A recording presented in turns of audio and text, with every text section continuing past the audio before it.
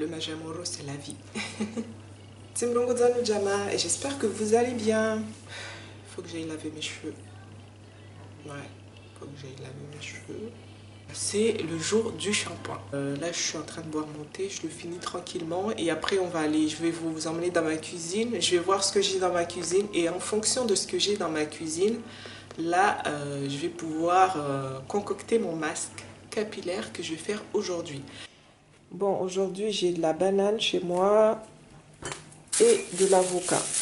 Petite astuce, si vous avez un avocat qui n'est pas assez mûr et que vous voulez l'utiliser rapidement, que vous voulez qu'il soit mûr le plus rapidement possible, mettez-le dans un sachet et euh, il va mûrir beaucoup plus vite. Donc moi c'est ce que j'ai fait. Bon, ne me demandez pas quelle réaction chimique se fait dedans pour que ça mûrisse plus vite. Hein. Je ne suis pas physicien, mais en tout cas ça fonctionne. Que ce soit pour euh, une banane ou euh, un avocat. Enfin, D'ailleurs, j'aurais dû faire ça pour la banane. N'est pas trop trop mûr, mais ça va le faire. Donc, je vais faire un masque avec un avocat, une banane et du lait de coco. Donc, ça, c'est du lait de coco que j'avais mis au frigo. Donc, voilà l'aspect.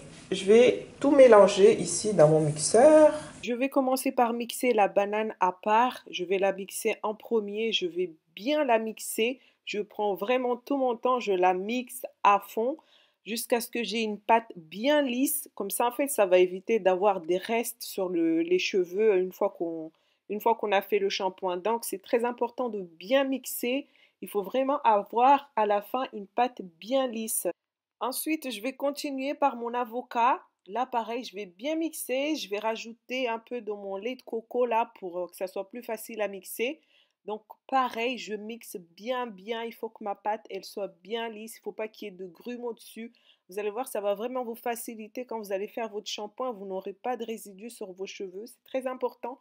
Sinon, vous allez vous retrouver à gaspiller énormément d'eau quand vous allez enlever votre masque et ça, c'est vraiment pas écologique. Donc, euh, n'hésitez pas à bien mixer votre pâte. Euh, Sinon, si vous avez le courage, vous pouvez toujours la filtrer, mais moi je trouve ça plus contraignant. Je préfère prendre mon temps et bien mixer. Et puis à la fin, bah, c'est le même résultat de toute façon. Donc n'hésitez pas à mixer les gens. Mixer, mixer.